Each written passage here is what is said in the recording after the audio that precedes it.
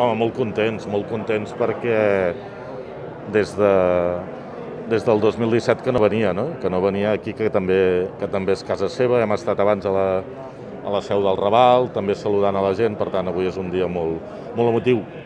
Va ser motiu doncs, també evidentment el, la sortida de la presó, no? que sembla que faci molt però no fa, no fa ni un mes i per tant doncs, avui poder compartir amb ella i que sobretot doncs, pugui saludar les companys i companyes de la, de l'UGT per nosaltres és molt important. Per això hem volgut fer aquest acte no? en què, a part de la direcció de l'UGT, doncs, eh, amb les mesures Covid, però que pogués eh, ser-hi qualsevol. No? I per tant és la, la doble satisfacció personal i respecte a la Dolors, però també la satisfacció com a organització. No? La UGT vam ser doncs, el demanar l'indult de la Dolors, també en certa manera fa un any i mig vam obrir el debat i al final doncs, per sort ha pogut ser positiu. No? Per tant, que la UGT de Catalunya pugui formar part de les solucions polítiques en aquest moment doncs, per nosaltres és molt important.